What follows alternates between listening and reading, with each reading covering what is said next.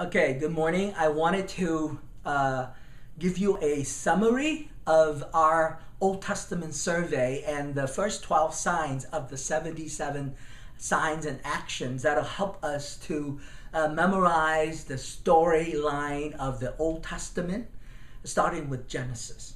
Okay, so I'm just going to review the 12 uh, actions that we need to uh, uh memorize and act out so that we can remember uh, the Old Testament survey.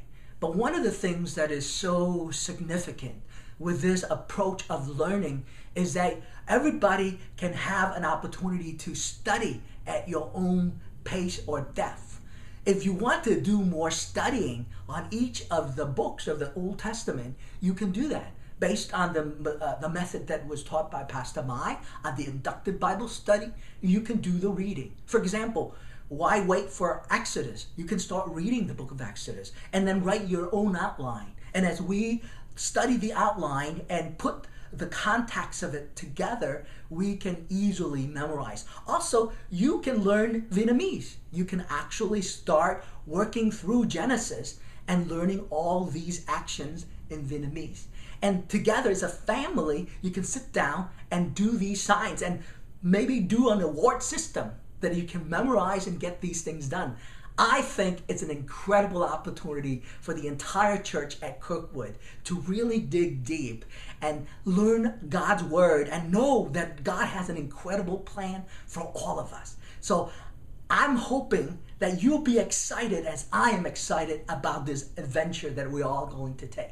Okay, so are you ready? Now, the book is Walk Through the Old uh, Testament, and really it's very structured in, in such a way that you can actually learn the different types of literature and books here. For example, you have history, or there's poetry, or uh, the prophets, okay, prophecy. So we are going to unpack that, and hopefully at the end, whether it's six weeks or uh, uh, six months, it doesn't matter as long as we grasp the basic concept and understanding the storyline. And then you can learn the Vietnamese too. And as together, for the whole family, we can come together and study the Word of God and then pray. Okay? All right, so let's start doing the first 12 signs. You start with Genesis and you hold the whole world in your hand like this and you say, Creation creation, fall. And then there's the flood and the water rises. So here goes the first one creation, fall, flood. And then God works through the nations. God blesses the nations. Nations, 4,000 years. 4,000 years. So start with creation, fall, flood. Nations, 4,000 years. And God used a family to get the good news of his redemptive work to save humanity. And this family started in a town called Ur. That's U R spelling Ur. So Abraham's family started there. Uh, just imagine a map, and the back of me is north, and toward you is south. And so from Eden, the city or the town of Ur is that way, south of Eden. So we would point to Ur. And behind that, south of Ur, is Persian Gulf. And when we go to the Persian Gulf and we put our finger to the ocean, what would be taste? Salt, right? So you would taste salt, and salt is spelled S A L T. And that's so that we can memorize using the acronym SALT to memorize the four major people in this family. That's Sarah, Abraham, Lot, and Terah. So let's go back from the beginning. First, we start with creation, fall, flood, nations, 4,000 years.